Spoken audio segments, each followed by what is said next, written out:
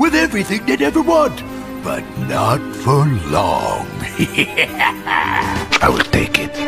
I will crush it.